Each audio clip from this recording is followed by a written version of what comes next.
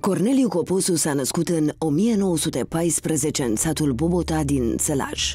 Provine dintr-o familie de preoți, însuși tatăl său fiind preot, iar mama fică de protopop. La numai 16 ani devenea student la drept, iar la 23 de ani era deja doctor în drept. A intrat în politică foarte tânăr, beneficiind de faptul că tatăl său era prieten bun cu Iuliu Maniu, acesta îl știa de mic, îi cunoștea capacitățile, așa că, după cum spunea chiar Corneliu Coposu, am fost secretar politic al lui Maniu și, aș putea spune, umbra lui, pentru că nu m-am despărțit niciodată de el.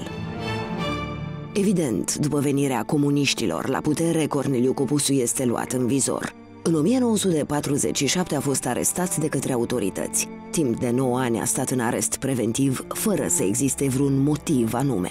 Apoi a participat la un simulacru de proces, sentința fiind condamnarea pe viață la muncă silnică.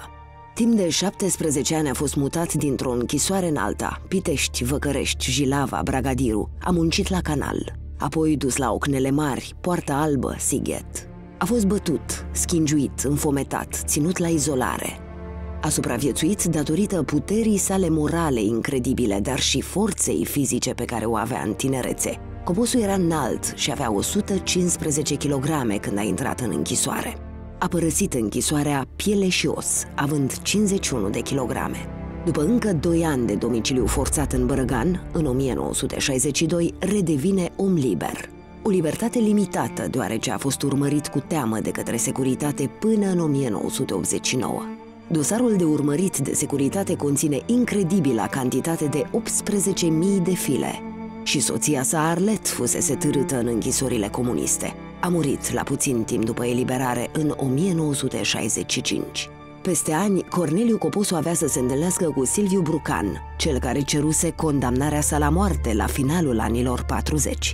A declarat apoi că nu îi poartă nicio ranchiună. Mai mult, despre Vișinescu, unul dintre torționarii săi, a vorbit după ce s-a întâlnit cu acesta întâmplător pe stradă.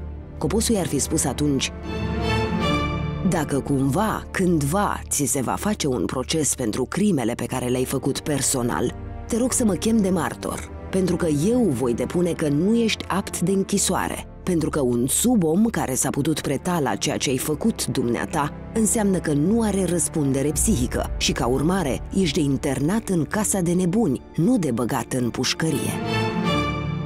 Urmărit de securitate, Corneliu Coposu a avut curajul ca întotdeauna să anunțe liderii europeni în 1987 că Partidul Național Țărănesc își continuă existența.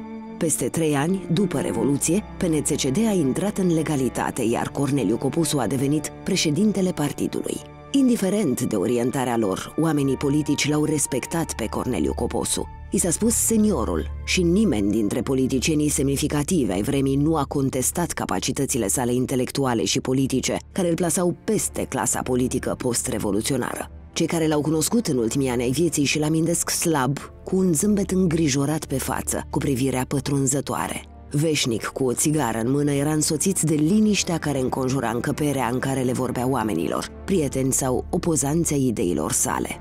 Corneliu Coposu a murit în 1995, iar sute de mii de oameni au ieșit pe străzile capitalei ca să-i aducă un ultim omagiu seniorului.